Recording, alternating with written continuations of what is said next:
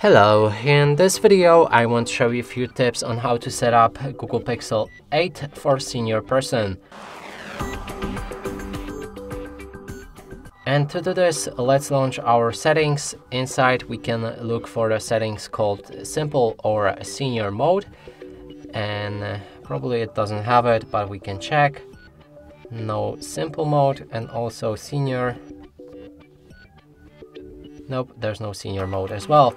And uh, that means we can we need to change those settings manually. And to do that let's find accessibility options. Then go for display size and the text.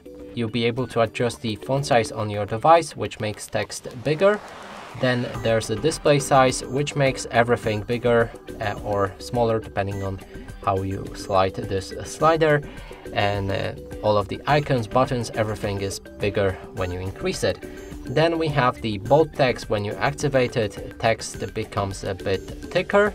Then we have high contrast text. When you activate it, all underneath text becomes uh, much more uh, visible. And also everything is outlined by the black color, just like that. And now another thing I would do is uh, remove animations and you can do that in color and motion. Here remove them and it reduces movement on the screen and also reduces the motion sickness and overall confusion while using it. Then go back and one last thing is magnification. We can activate it. That way you'll get this floating icon with a loop. When you click on that, entire screen becomes outlined by orange and you can click anywhere on the screen to zoom in. Click on it again to zoom out and if you want to move around while being zoomed in you can use your two fingers just like that. And that's it for this video. Hope you like it. Please consider subscribing to our channel. Leave a like and a comment below